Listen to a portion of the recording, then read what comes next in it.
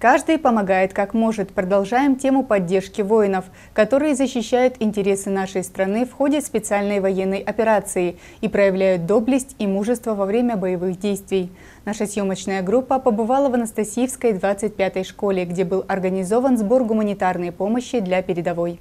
В единстве с армией сила нашего народа, сбор гуманитарной помощи сплачивает людей здесь, вдали от зоны СВО. Так было во время Великой Отечественной войны, так происходит и сегодня. Все это делается для того, чтобы нашим защитникам стало немного теплее от заботы. В Анастасиевской 25-й школе никто не остался равнодушным к призыву помочь солдатам и офицерам. Все взрослые старались показать пример детям, укрепляя в них патриотизм, взаимопомощь и доброту. Мы хотим воспитывать своих детей в духе патриотизма, в духе взаимопомощи, доброты.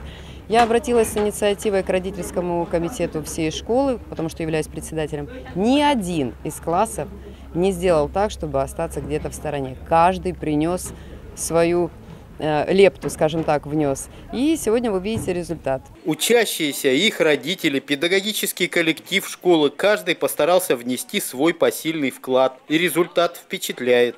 Военнослужащие нуждаются в воде. Вот. Поэтому и решили поддержать. Естественно, все, весь школьный коллектив принял участие. И учителя, и дети. Клич был подан по соцсетям. Родители четко поддержали. Вот сейчас этот КАМАЗ фактически, наверное, полный загрузим водой. С большим энтузиазмом переносили школьники собранные пластиковые бутыли и упаковки с водой, загружая автомобиль. Ребята очень старались, участвуя в этом благородном деле. Я очень рада участвовать в этом мероприятии. Мы все очень много принесли воды в нашу школу для того, чтобы отвести эту воду людям на СВО.